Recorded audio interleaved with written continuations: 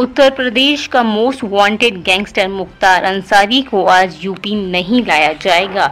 मुख्तार के यूपी लाए जाने का इंतज़ार अभी बढ़ता दिख रहा है।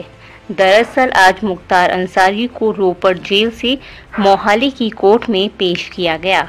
मुख्तार को बिल्डर से रंगदारी मांगने के मामले में चार्जशीट की कॉपी देने के लिए कोर्ट लाया गया था। मोहाली पुलिस ने बताया कि मुख्तार को कोर्ट की प्रक्रिया के मुताबिक ही लाया गया था। मुख्तार चलान की कॉपी लेने के लिए आरोपी की हैसियत से कोर्ट आया था। अंसारी को चलान की कॉपी रिसीव कराकर कोर्ट से वापस रोपड़ जेल भेज दिया गया है। इस मामले की अगली सुनवाई 12 अप्रैल को होगी।